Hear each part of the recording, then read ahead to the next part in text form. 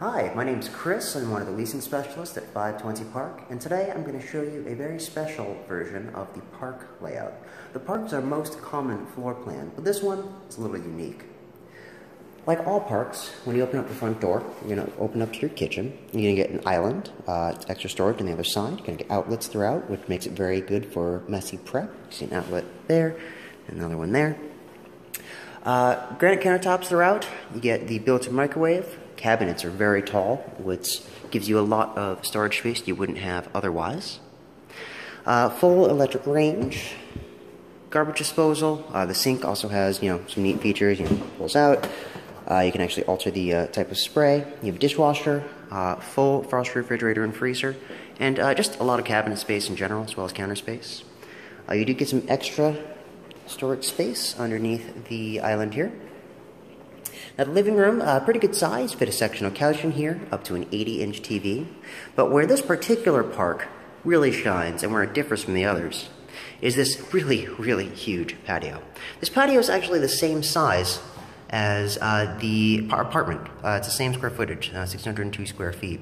Uh, and uh, you get it all to yourself. Uh, there's only three of these in the building that have this particular patio. Um, but yeah, as you can see, you the whole wall is windows, lets in a lot of natural light. this is facing west, so you'll get evening light more than, than morning light. But as you can see, it's the morning right now, it's about 10 o'clock, and you're still getting a really good amount of diffuse light in here. Let me show you the bedroom. Oh, uh, thermostat. Don't forget about that. Get your own uh, controlled thermostat. You get to set it however you want. Central air. Uh, bedrooms, again, a very good size. Fit a king-size bed in here, no problem. Uh, again, nice big windows. The windows uh, in this particular room are 8 by 5 Now, uh, the ceilings throughout the apartment are going to be 14 feet. you know, very tall. I get concrete up there. You'll see unfinished concrete. It's kind of a very cool industrial look. Same thing in the living room. Uh, now, this concrete uh, is actually the very underside of uh, the foot and a half of concrete in between each floor.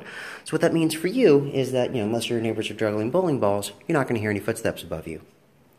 Uh, the closet's a walk-in closet. You could actually fit a small dresser in here. A lot of people would do that to maximize their uh, bedroom space or storage space. Washer and dryer is located in the closet. Makes laundry very, very easy. You just turn around and hang it up. Uh, very high efficiency washer and dryer.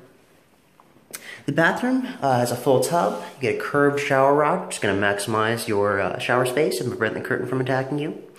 Uh, you get a you know, granite countertops, uh, dark tile on the floor here.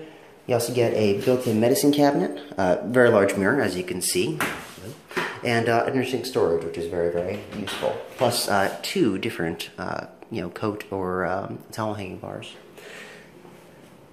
Last bit for storage, you do also get a coat closet. Um, this is you know, good sized closet. You can fit boxes in here, whatever.